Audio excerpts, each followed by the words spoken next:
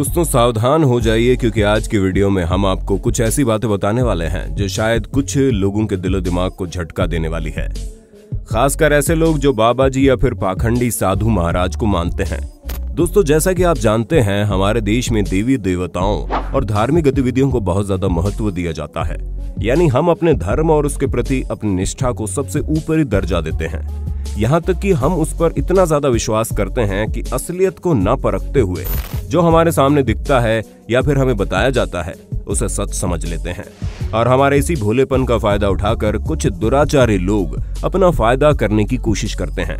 उसी कैटेगरी में आते हैं भारत के कुछ बाबा, जिनकी असली सच्चाई हम आज आपको बताने वाले हैं। लेकिन दोस्तों, ऐसे ही और वीडियोस देखने के लिए हमारे चैनल फैक्ट जिनी को सब्सक्राइब करके बाजू वाली घंटी ज़रूर दबा दें।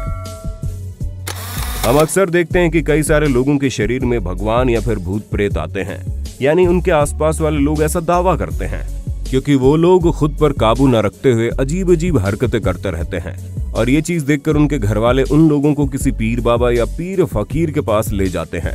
और इसी बात का फ़ायदा उठाकर वो ढूँगी बाबा अपनी घिनौनी हरकत को अंजाम देते हैं।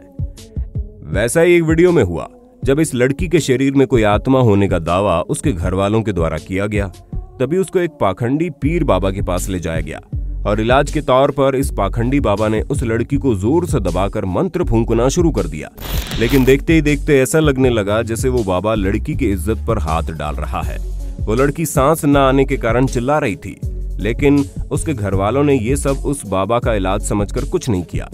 दोस्तों, सच में ये देखकर मुझे इस लड़की के माँ बाप की मूर्खता पर विश्वास नहीं हो रहा। अलग अलग तरह से इलाज करने वाले बाबाओं की वीडियो बार बार वायरल होती है, लेकिन फिर भी अंधभक्त लोग उन्हीं के पास अपनी समस्या लेकर जाते हैं।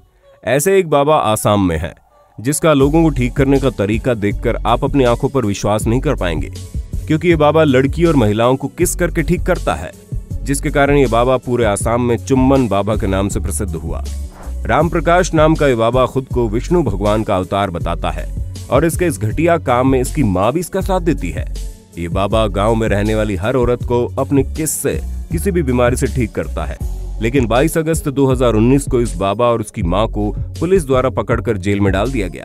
और आशा करते हैं गाँव की महिलाओं को अपने वश में करने वाले इस पाखंडी बाबा से जेल में चक्की ज़रूर पिसवाई होगी।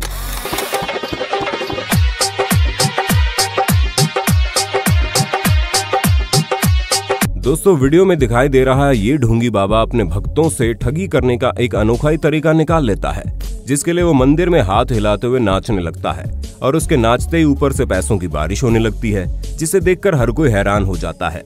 लेकिन वो बाबा अपने भक्तों को ये कहता है कि उसके नाचने पर ऊपर से पैसों की बारिश होती है, लेकिन वो ये नहीं बताता कि ऊपर से उसी के चेले पैसे फेंक रहे हैं। ऐसा डांस करके उस छोटू बाबा ने बहुत सारे लोगों से पैसे ऐंठ लिए। और आज वो पुलिस की कोशिशों के बावजूद कहीं पर भाग गया है। लेकिन जो भी हो, मैंने तो आज तक ऐसा बाबा पहली बार ही देखा है। दोस्तों, कमेंट करके बताइए आपको इस बाबा की भोंदू लोगों को ठगने की तरकीब कैसे लगी?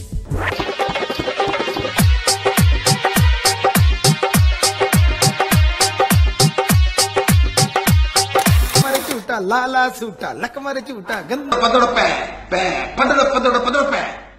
दोस्तों, गुरमीत राम रहीम का नाम न सुना हो तो शायद आपने कुछ नहीं सुना, क्योंकि कुछ सालों पहले राम रहीम जो खुद को भगवान का मैसेंजर बताता था, सोशल मीडिया पर छाया हुआ था। राम रहीम का कहना माने तो वो खुद भगवान से बातें करने का दावा करता था, और जो बाद में झूठ साबित हुआ।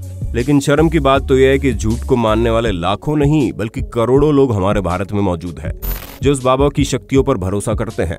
यहाँ तक कि ये बाबा इतनी पहुँची हुई चीज़ थी कि उसने अपने ऊपर एक फ़िल्म भी बना दी जिसमें एक्टर भी खुद था, डायरेक्टर भी खुद था। यहाँ तक कि फ़िल्म में गाने भी गाता था।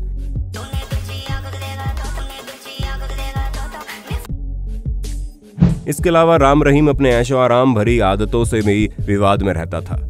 लेकिन 2002 में इस बाबा पर एक साध्वी का रेप करने का आरोप लगा और साथ ही 400 लोगों को नपुंसक बनाने का आरोप लगा। अपने 700 एकड़ के आश्रम में ये बाबा अपने खुद की सेना पाल कर रखता था। इस बाबा पर लगे सभी आरोप सिद्ध हो गए और आज ये बाबा जेल की हवा खा रहा है। दोस्तों, निर्मल बाबा एक ऐसा बाबा है जिसे अगर हम भारत का सबसे बड़ा नटवर लाल कहें तो गलत नहीं होगा, क्योंकि इस बाबा की हरकतें कुछ ऐसी है जो किसी को भी हंसा हंसाकर पागल कर देगी। निर्मल बाबा किसी बड़े हॉल में अपना शो करता था, जहाँ पर हज़ारों लोग इसे सुनने के लिए आते थे, और जो भी हो बाबा को अपनी मुसीबतों का हल माँगता था। निर्मल बाबा उसे समोसा और चटनी खाने के लिए कहता था, जो पूरी तरह से एक फर्जी बाबा था। और ऐसी हरकतें करके ये बाबा लोगों से पैसे लूट कर अपना घटिया धंधा चलाता था, जिसके बाद इस बाबा के ऊपर कई सारे गंभीर आरोप लगे।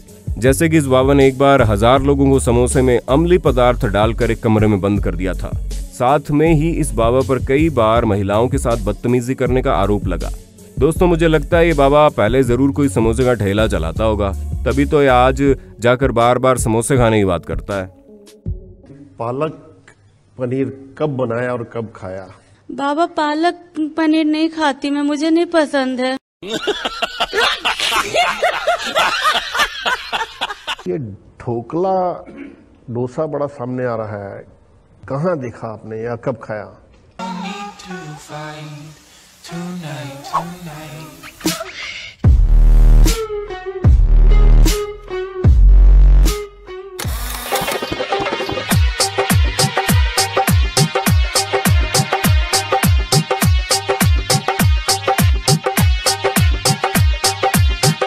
दोस्तों, सबसे आखिर में ऐसे बाबा की बात करते हैं, जिसे अगर हम दुनिया का सबसे पाखंडी बाबा कहें तो कोई गलत नहीं होगा। जी हाँ मैं उसी आसाराम की बात कर रहा हूँ, जिस पर कई सारे गंभीर और घिनौने आरोप लगे हैं, जैसे कि हत्या, बलात्कार और लोगों से पैसे लूटना वगैरह वगैरह।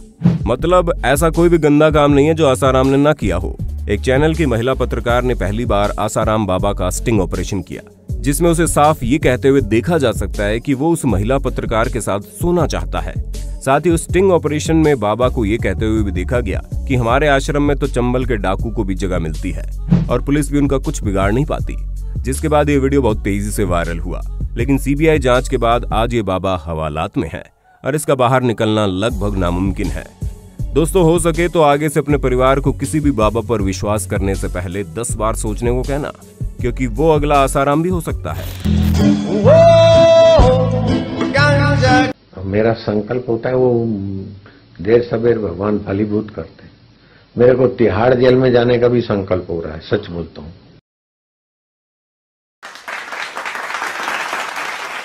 दोस्तों, बस यही थे कुछ ढोंगी बाबा जो अपने घटिया हरकतों से बाज नहीं आए। ये वीडियो आपको कैसा लगा फीडबैक ज़रूर दीजिए। और पसंद आया तो जल्दी से लाइक ठोक दो, अपने दोस्तों के साथ इसे शेयर करो और चाहते हो इस वीडियो का अगला पार्ट तो कमेंट में लिख देना नेक्स्ट पार्ट धन्यवाद।